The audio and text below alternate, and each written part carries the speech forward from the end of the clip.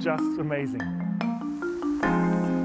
Wow. different aspects of the implant. It was very, very nice. And that takes time. It was fantastic. Really awesome.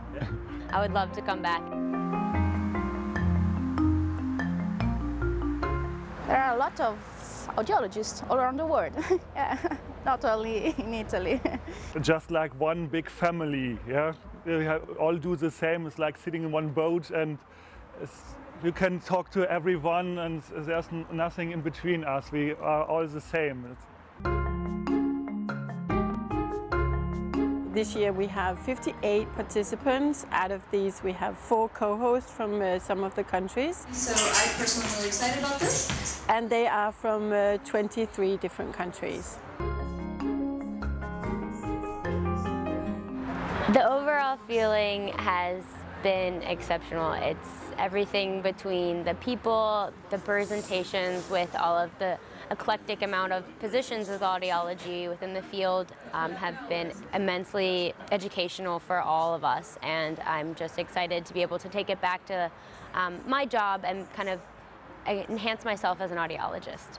You are now standing more or less in the middle of the research facility. A general vision for doing summer camp is, is bringing a lot of nationalities together and then having them learn from each other.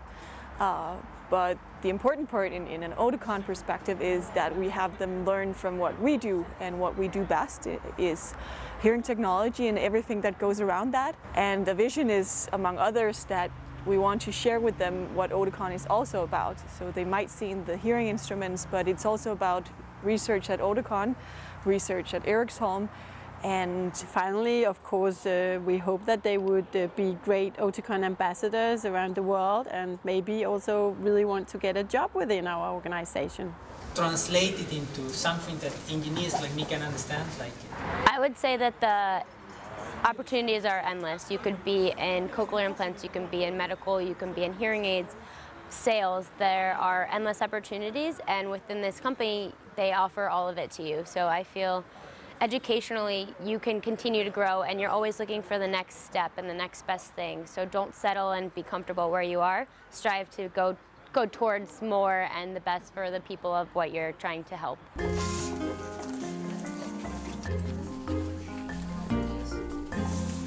Who is the guinea pig? It was very interesting to see the number of people working on such a small devices and to see all the background which is uh, for this small hearing aid.